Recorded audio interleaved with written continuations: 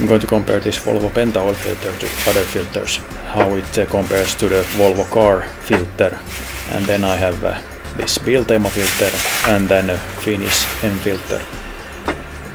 They are all intended to use in the smaller Volvo Penta Perkins based engines.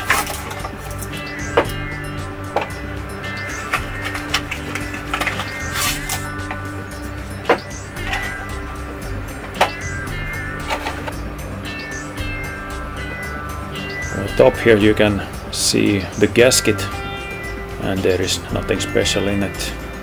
The Volvo Penta OEM filter and this uh, M filter have the thickest gasket. What you also can see from here is the threads. This uh, Volvo car filter has the shortest threads and this uh, M filter has the longest.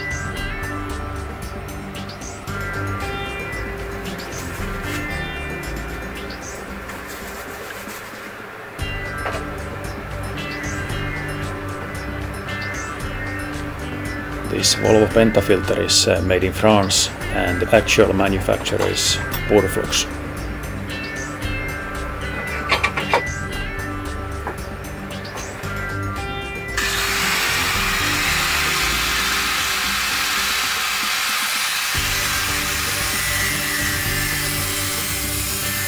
There's quite heavy duty container and cutting it open takes some time. Then I have this uh, Volvo car filter made in USA. Actual manufacturer is Purolator.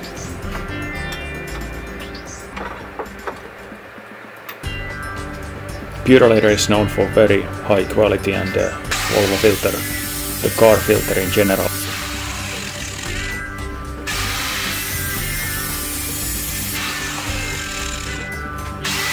The container is quite easy to cut open so it's not very heavy duty.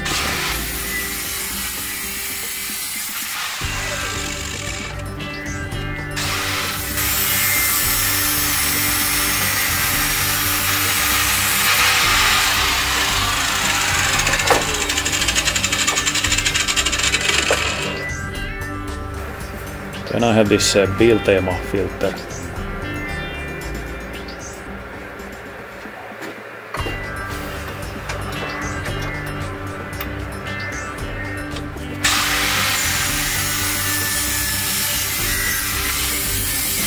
container is quite heavily built, so this is the second most heavy duty container of these four filters.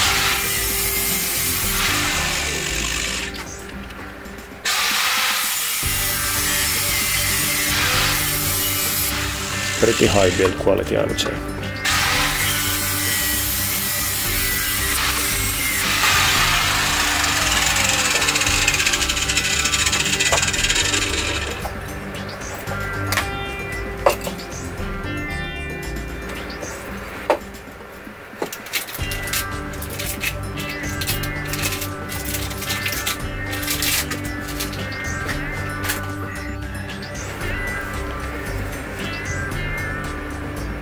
Finally I got open this uh, M filter.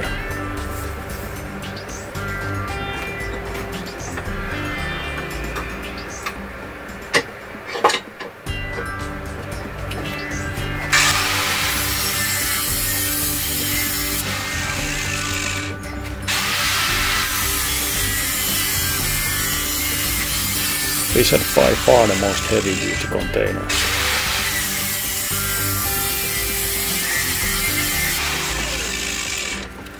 This is the Volvo Penta filter made by Purflux. You can see that zigzag filter element which is known for that manufacturer.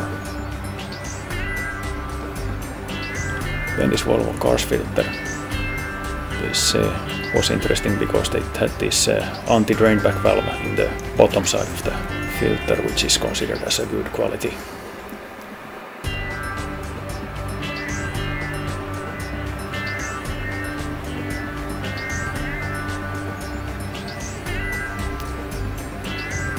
This uh, M filter have the smallest filter element, but uh, I don't know if that makes any difference because it's uh, semi-synthetic.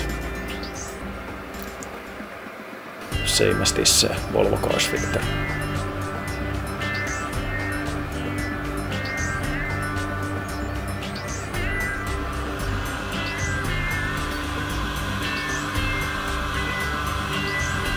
Then I applied some heat to this anti-drainback valve to see if it has any effect.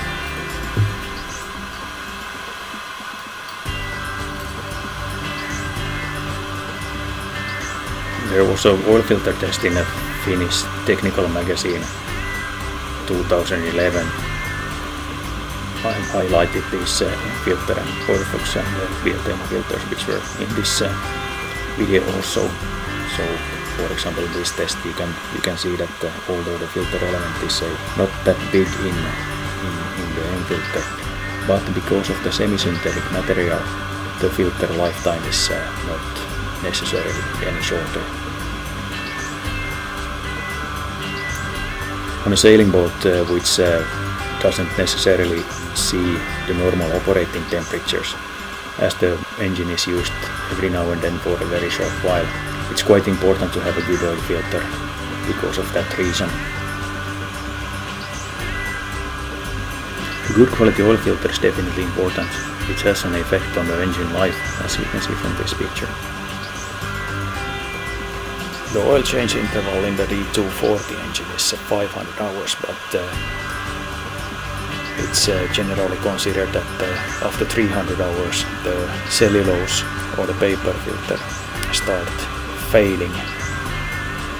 So although Volvo recommends 500 hours oil change interval, it's a good idea to change the filter and the oil a little bit more often.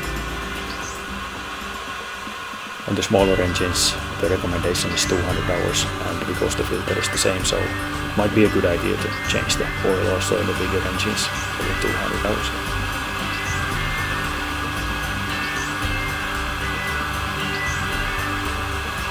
So heat didn't have any effect on these uh, drainback valves. They all handled the heat with no problem.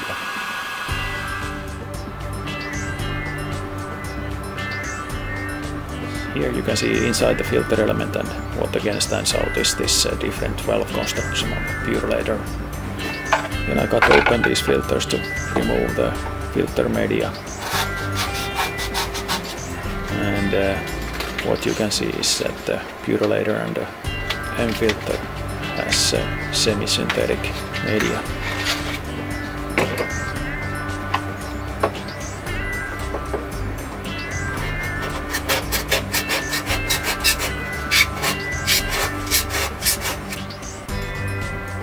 The smallest filter element was in the M filter, which was only slightly smaller compared with the Volvo filter. The Volvo Penta filter had by far most filter material. And the second most was in the Biltema filter, but then again they are normal paper filters, so they require more element material.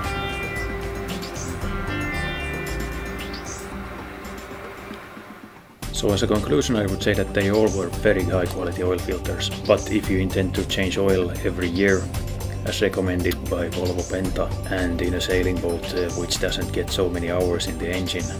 So I would say that uh, you can use other high quality oil filters also